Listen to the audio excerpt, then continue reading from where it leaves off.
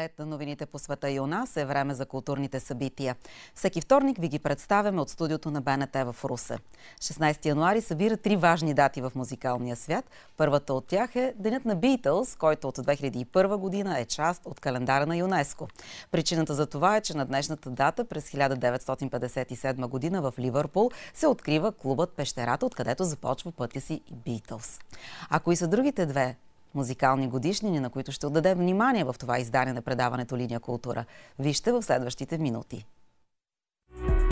Навършват се 100 години от рождението на оперната прима Катя Попова. Певецът с много лица Деян Неделчев, специален гост в деня на своя 60 годишен юбилей. За майсторството да пишеш за деца, драматургът Магда Борисова за книгите си Най-най-куклени пиеси и как принцеса Магда спаси своя замък.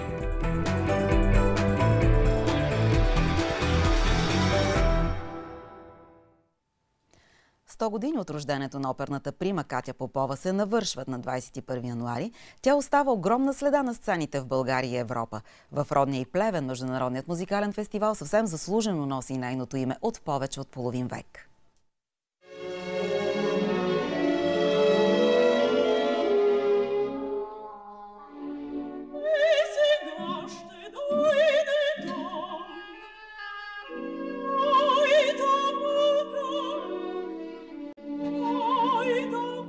Една от най-обещаващите оперни изпълнителки в България.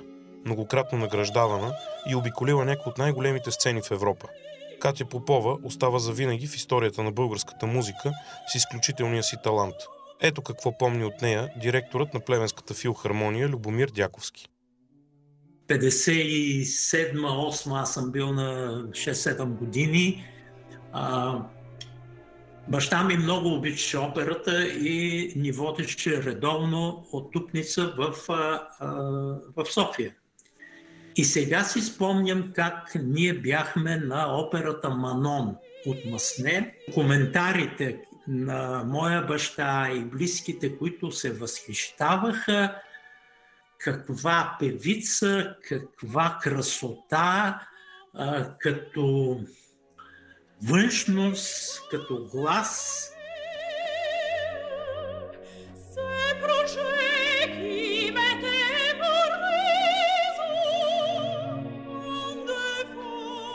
Въпреки трагичната си кончина през 1966 година, Катя Попова има впечатляваща музикална кариера с над 600 представления и емблематични роли. Международният музикален фестивал Лауреатски дни носи нейното име. Първото издание е било на 22 октомври 1966 година. Второто издание следващата година, след което, за съжаление, този трагичен инцидент с самолетната катастрофа прекъсва жизнения път на Катя Попова. И третото издание вече носи и нейното име. В годините нататък тук са гостували всички филхармонии, оркестри от Румъния, всички почти опери в страната, където в тези спектакли и концерти са участвали наши именити певци, инструменталисти и хора с последвала след това световна слава. И тази година сме се заели с тази отговорна задача да направим действително едни хубави, стойностни, лауреатски дни и да се надяваме, че ще можем с а, отговорност и чест да защитим името на тази прекрасна българска и световна певица.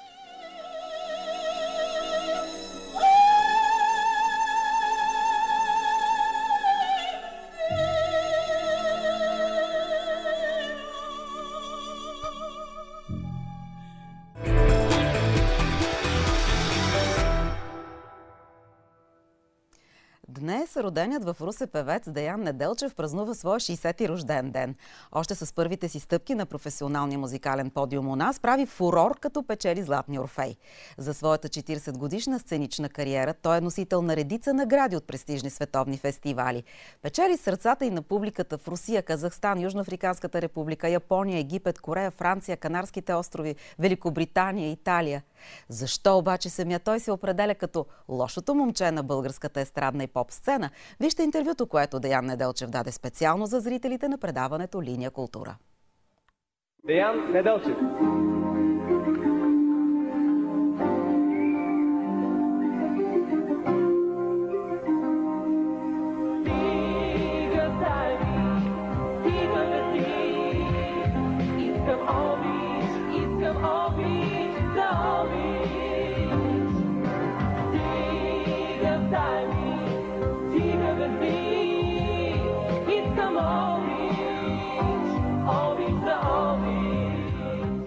Кои са върховете, които сте изкачили до тези 60 години житейски и 40 от тях професионално?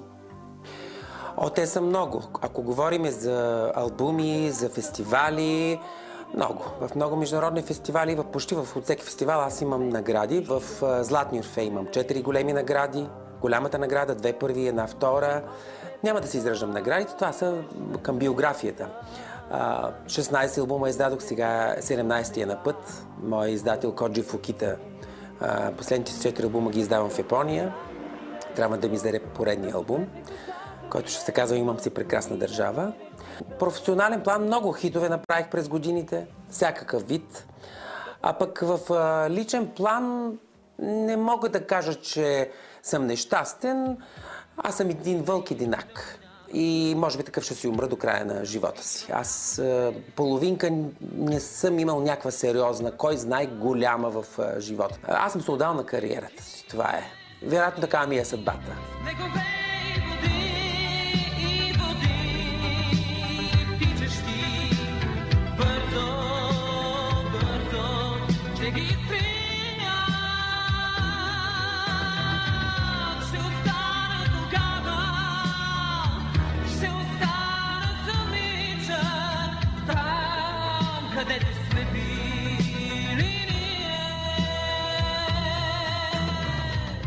На времето, когато тръгвах, се явих на един конкурс за забавна песен. И аз се явих на този конкурс в 88 година. Бях тогава солист на ансамбъла Строителни войски, Гусевето. И изпях две песни. Думи на Тончо Русев и на Рой на парче Буги Денс. И тогава аз казах пред всички, Тончо, стани да те видят всички, ма пред журито и пред това. Да благодаря ти за всичко. Аз просто му, го поздравих така от сърце и душа. То се оказа голяма грешка. И не ми... Аз знаех, че бях за първа награда, бях сигурен. Обаче не ми присъдиха никаква награда. И аз мислех, че тогава съм си промолил кариерата. Обаче се оказа, че Тончо ме харесал още повече тогава. Това беше първи ми голям хит, думи. И аз една седмица бях болен, защото смятах, че съм провалил всичко. Разбирате ли? А то се оказа, бомба се закъснител. След това с Тончо имахме големи, голямо приятелство до 2018, докато почина. Така че това, това го отчитах като голяма грешка. Аз съм си такъв един експлозивен, непокорен, бунтар, нестандартен, различен и затова не съм харесван. От гилдията и от е, телевизии, от радиа, но пък хората много му обичат. Отшили са, отшили и двама, дали, дали са жарта в тях изгаря, дори и моето гордо няма, а после всичко се повтаря. Тодор Анастасов и Морис Аладжа ми написаха първите песни с Тончо Русев. И Галя Жекова, е, тя работеше в военна редакция, тя работеше и с а, Тончо. А, тя също му е казала, да знаеш, има едно страхотно момче, как пее, не можеш да си представиш. И така. А, после станах солист на ансамбъл на транспортни войски с а, Диомов и Ване Костова. Почнах концерти, така ме видяха повече в а, гилдията, почнаха да, да се чува за мене, но Тончо и Морис са хората, които най-много ми помогнаха и Тодор Анастасов. След това и други композитори, с които съм имал успехи. Кажете ги. Като Хуигашота Гасян, с който взехме голямата награда Златни Орфей и първа награда Златни Орфей от 93-94. Той ми е написал и други песни. С Красимир Гилмезов много сме работили. С Пламен Велинов, с който съм бил в казармата. Това са така най-много и, и, и много други. Нали, сега не мога да ги изреждам. Това са хората, с които най-много съм работил. А, и съм им много благодарен до ден днешен. Хубави ръцете ти и нозете ти, колко са хубави и очите ти колко са хубави и косите ти колко са хубави. Какво от а, миналото ви липсва и какво не? Липсва ми социалистическия строй, защото той беше по-хубав. Демокрацията не ми харесва. По времето на социализма имаше култура, изкуство, имаше ценностна система. А хората живееха на отключени врати. При баба и дядо беше най-хубаво на село в Бяла черква. Имаше читалища, имаше концерти. Сега, за съжаление, не е същото. Имаше ред и дисциплина за много неща. И е, това ми липсва в момента. Сега една анархия, едно, е, една какафония е всичко и всеки, който мисли, че може да пее, си пее, ама само, че не може да пее. А какво не ви липсва? Ами, не ми липсва това, че а, но времето имаше шофийски жителства. Трябваше да ходи да работи в домостроителни комбинат, за да остана в София, в цеха за подове на стилки и мукети. Бяха затворени границите. Ние можехме да пътуваме само в соцстраните. Хубаво, че се отвориха граници.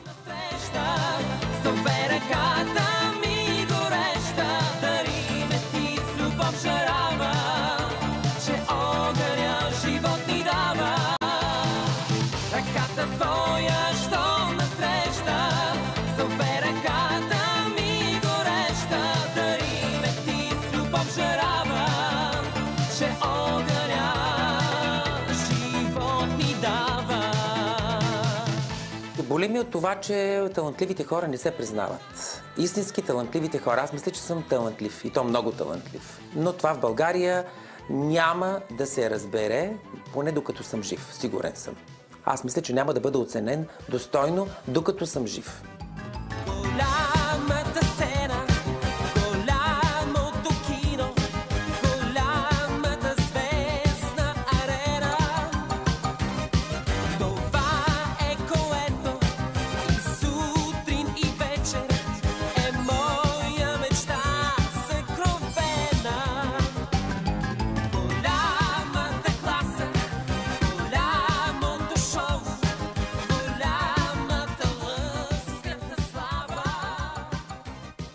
Лъската слава Да. се пее в нея, мечтата съкровена. Да. Каква е цената обаче, която вие платихте за тази лъвска слава? Това, че съм предизвикателен, че съм непокорен, че съм бунтар, както казах. И а, аз станах лошото момче на българската музика. Аз станах единак.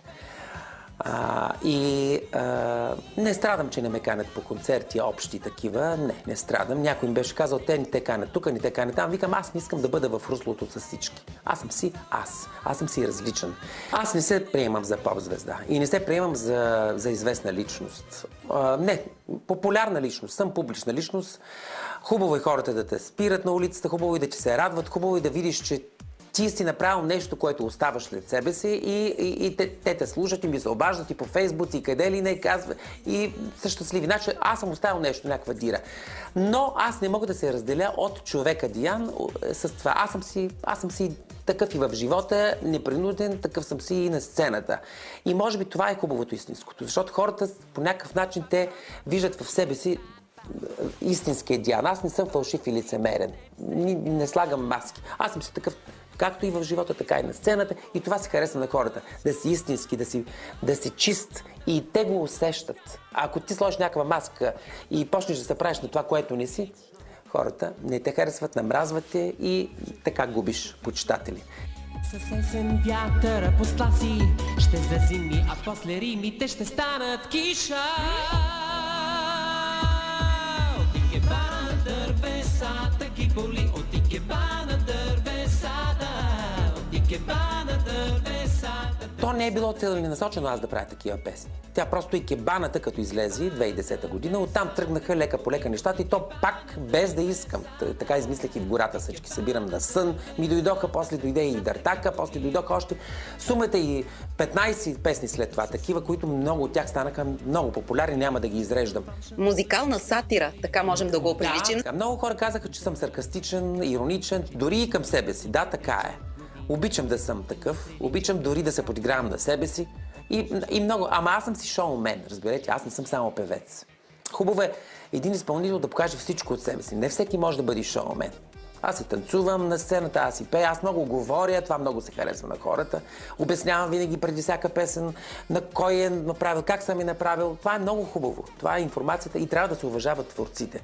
Не знам, просто така, така съм направен, така съм създаден и не мога да избягам от себе си.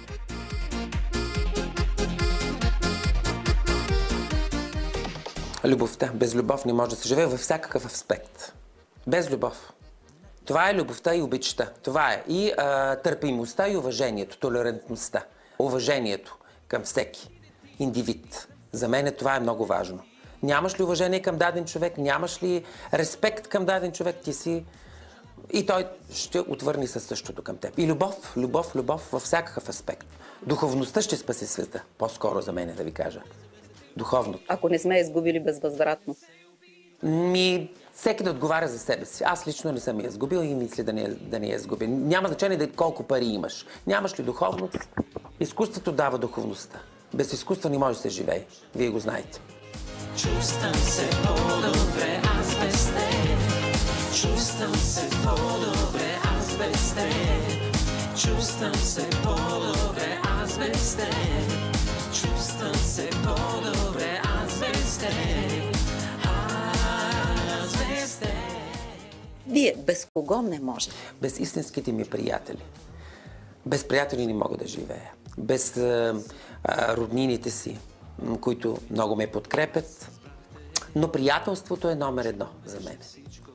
Ако нямаш приятели, ти си загубен. Да ти кажат здравей, как си, да пиеш кафе с тях и то истинските приятели. Не се лъжа. Не дей, се опитвай. Бяхме някога. Искам а, да живея на моите любими острови, в Испания и Канарските острови. Много години живях там.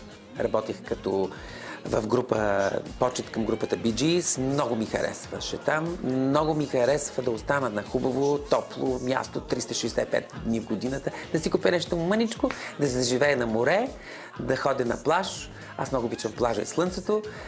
И да си пея. Няма значение къде ще пея. Да си пея, да си продължавам да си правя песнички. Не е нужно да, да съм супер известен или такова. Просто да, съм, да ми е слънчево на душата, да се срещам с хубави хора. Искам да живея на много хубаво място, като Канарските острови. Това е моята мечта. А как ще празнувате днес? Нищо специално. Това са си годишнини, вярно, кръгли годишнини. В, е, и в кариерата ми, и в е, и като години, пък и с брат ми правим 35 години на сцена, също като дует. Но те са си числа. А пък аз съм си и в годината на зеленият дървен дракон. Точно тази година е моята година и четох, че много успехи ме чакат, много авантюри, много приключения, много пари. А да видим. Какво ще стане? Най-сърдечно ви го пожелавам и преди всичко да бъдете здрав. Благодаря сърдечно за интервюто и много успехи ви желая също на вас.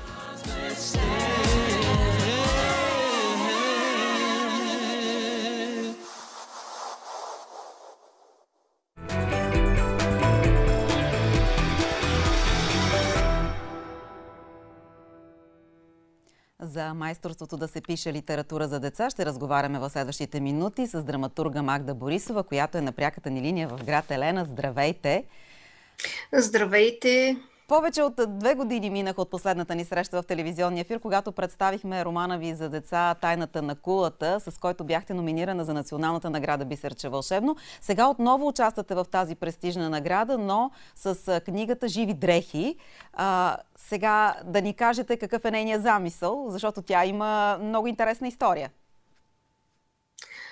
Книгата Живи дрехи беше издадена миналата година с, а, по програмата на Министерството на културата помощ за книгата. А, и има смисъл наистина в тези програми. А, исках да разкажа на децата за м, от какво се правят дрехите, но не кои да е дрехи, а живите дрехи. Тези, които са от а, растения или от а, вълната на различни животни. А, затова героите са една купринена пеперуда, една гъска и една принцеса. Иллюстрациите също са мои. И когато нарисувах всъщност а, главни, образа на момиченцето, всички казаха, че приличат на мене. Не знам дали се вижда. И затова я кръстих принцеса Магда.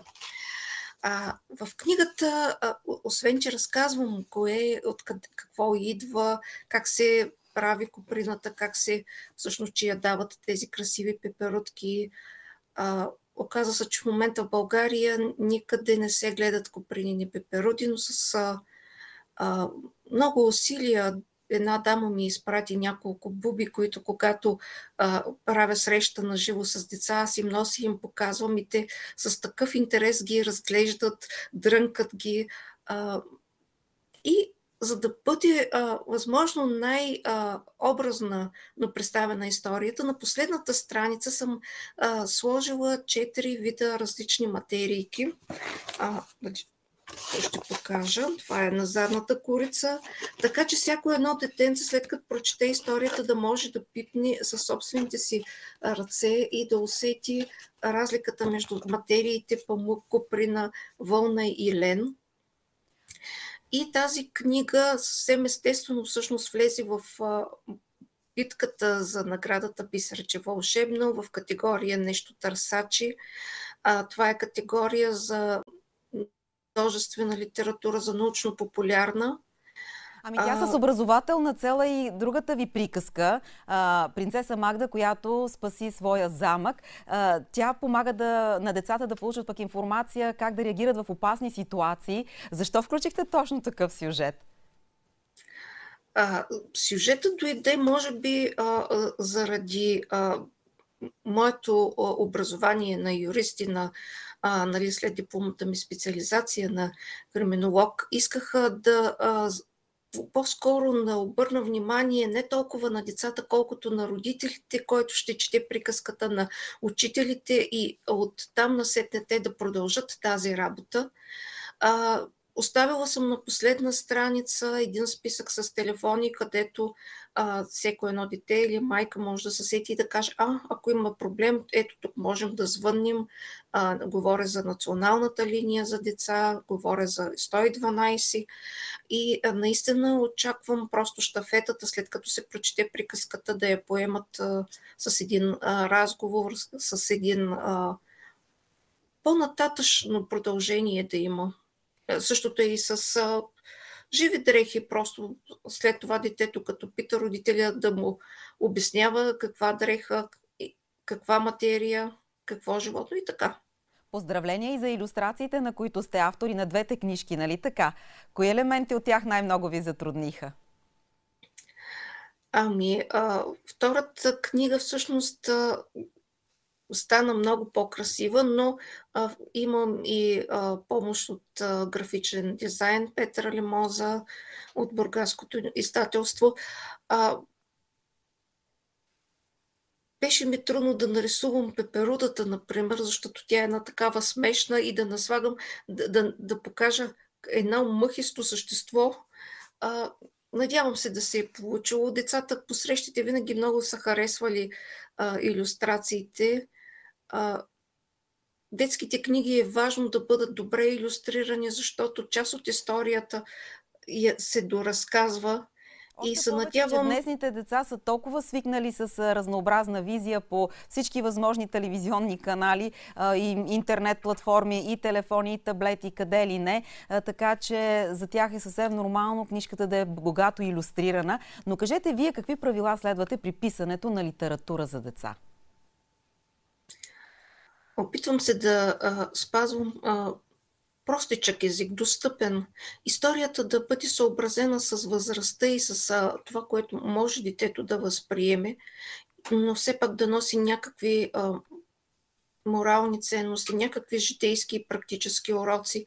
Нещо, което хем да а, бъде забавно, защото ако не е забавно, детето ще загуби интерес и няма да бъде дочетена историята до края и да е догледан спектакъла.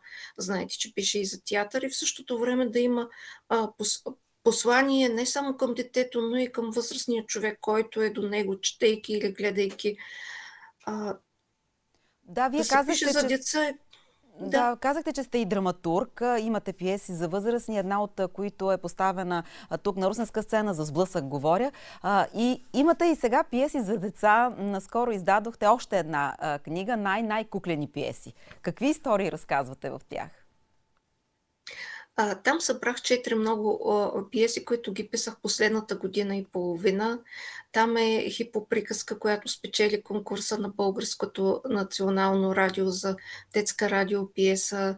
Там са баснословни приключения, където се опитах да събера 10 басни, а, да ги обединя на моя съгражданин Стоян Михайловски и да ги драматизирам, защото а, всички негови текстове звучат абе много актуално и към днешна дата.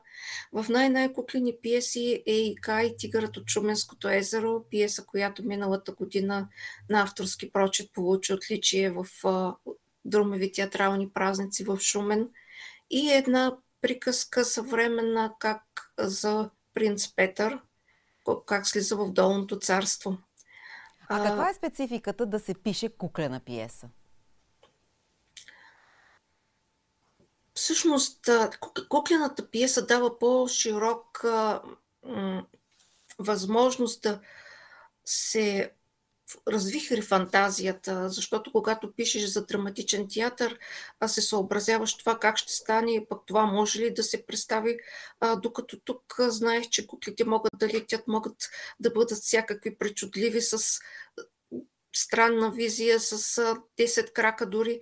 И това е много по-освобождаващо, много по-разширяващо творческия полет, а детето трябва да бъде, понеже обикновено първия досек на децата е с, точно с кукления театър, е хубаво да имат нещо, което да ги грамни, да ги накара да се влюбят в театъра и да искат да се връщат отново и отново и после да отиде да гледа и драматичен театър, а защото сблъскали се с някоя а, лоша постановка.